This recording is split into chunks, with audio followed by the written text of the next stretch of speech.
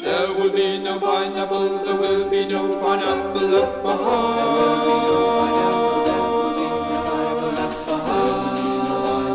There will be no pineapple left behind. Left behind. No pineapple left behind. No pineapple left behind.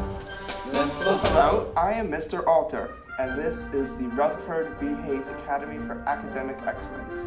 I am here today to tell you about No Pineapple Left Behind. In this school, an evil wizard showed up, and he turned all the kids into pineapples. All that a pineapple does is take tests and get grades, and if they get good grades, this school gets more money. But if left unattended, the pineapples turn back into children. Children are very complicated and much harder to deal with. You are the principal, and your job is to run the school. Hi, NPLB is a school simulator for Windows, Mac, and Linux, with a weird twist. You build lesson plans for teachers, and when they get burned out, you fire them and hire new ones.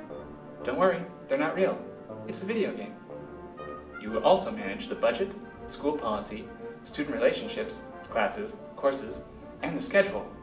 You can even try to dehumanize kids back into pineapples. Overall, we're focusing on character development and the management of students' complex needs and emotions. No Pineapple Left Behind has very Soviet-inspired aesthetic. Um, the art is very stark and angular, high contrast.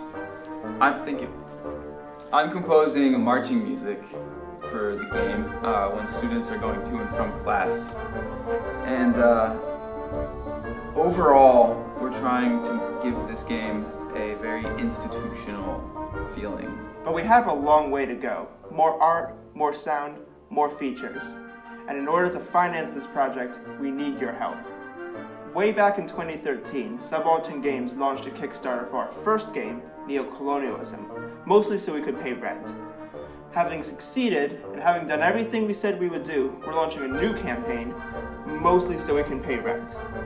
So if you can, pledge some money. And if you cannot, press the like button to help spread the word on Facebook. With your help, there will be no pineapple left behind.